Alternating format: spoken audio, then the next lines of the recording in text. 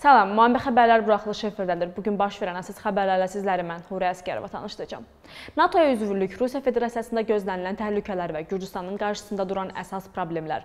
Baş nazir 4-cü beynəlxalq konfransda çıxışı zamanı bu məsələlərə diqqət çəkib. Tədbir Makkeni İnstitutu və İqtisadi Siyasət üzrə Tədqiqat Mərkəzi tərəfindən təşkil olunub. 2018 Dünya bir arada konfrans belə adlanır və bu konfransda mütəxəssislər, siyasətçilər və biznesmenlər bir araya gəliblər. Konfransın açılışında parlamentin spikeri də çıxış edib. İraklik Obaxidze isə çıxışı zamanı ölkənin inkişaf kursunu özünə mövzu seçib.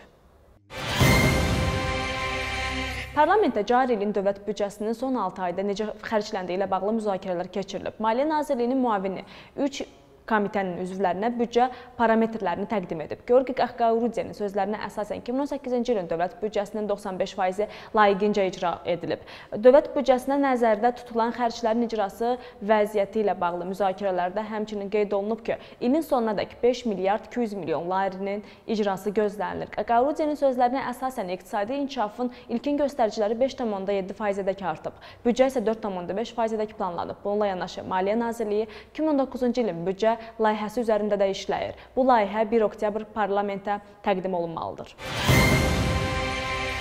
Georgi Qaxariya Ukrayna Daxili İşlər Naziri ilə görüşüb. Tərəflər qanuni uğurlara qarşı mübarizədə birgə fəaliyyətin əhəmiyyətlərindən danışıblar. Görüşdə iki ölkənin hüquq mühafizə təşkilatları arasındakı əlaqələrin dərinləşdirilməsi və ortaq istintaq proseslərinin yürüdülməsi ilə bağlı razılığa gəliblər. Səfər çərçivəsində hökumətlərarası işçi qrupunun yaradılması təşəbbüsü irəli sürülüb. Yaradılması planlanan işçi qrupu qanuni uğurlara qarşı mübarizədə birgə fəaliyyət göstərəcək. Narkotika cinayətinə görə həbsdə olmuş şəxslərin iş haqlarına qoyulan müvəqqəti məhdudiyyətlər barədə qanunda dəyişikliklər ediləcəkmi?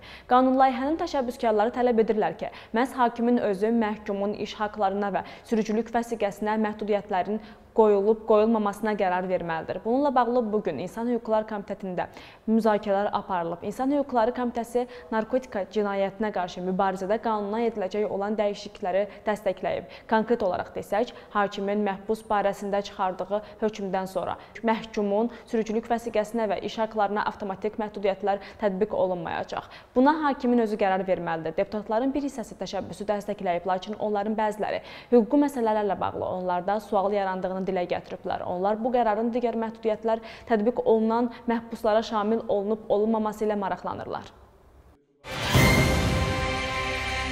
Maşın qarajının çökməsi nəticəsində xəsarət almış uşaqlar hələ də xəstəxanadadırlar. Uşaqlardan birinin vəziyyəti olduqca ağırdır və onun müalicəsi reanimasiya şöbəsində aparılır. İkinci uşaq üzərində artıq əməliyyat başa çatıb. Üçüncü yeniyetmənin vəziyyəti isə stabildir. Xatırladaq ki, faciə dünən baş verib.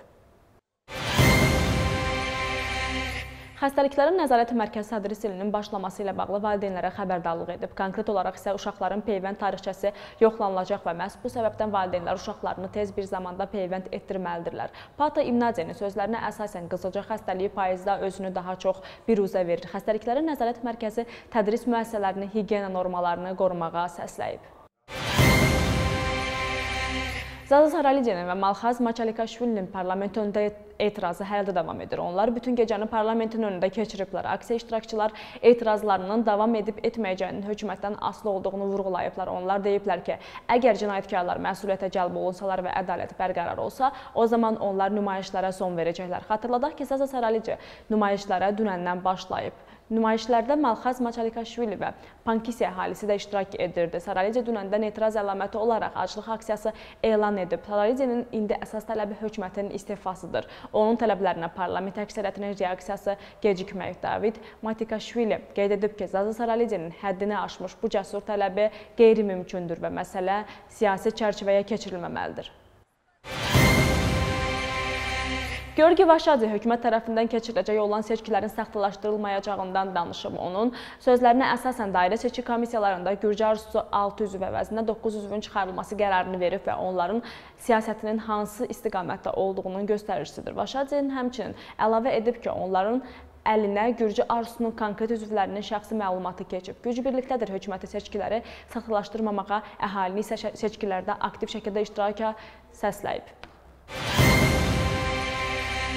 Avropalı Gürcüstan partiyası yanacağa tətbiq olunan aksiz qiymətlərinin yarıya endirilməsini tələb edir. Partiyanın prezidentliyə namizədi qeyd edib ki, müvafiq qanunvericilik paketi artıq parlamentə təqdim olunub. Onun sözlərinə əsasən larinin ucuzlaşması yanacağın və buğdanın qiymətinin artırmasına səbəb olub. Bu isə öz-özlüyündə bütün ərzaqların qiymətlərinin qalxması deməkdir. Bütün bu problemləri aradan qaldırmaq üçün mütləq şəkildə aksiz qiymətləri yarıya endirilməlidir. David Pakradiya qeyd edib ki, aksiz qiymətləri 2017-ci ilədəki olan qiymətlərə geri dönməlidir. Bu isə yanacağın qiymətinin 20-25 qəpik ucuzlaşması deməkdir.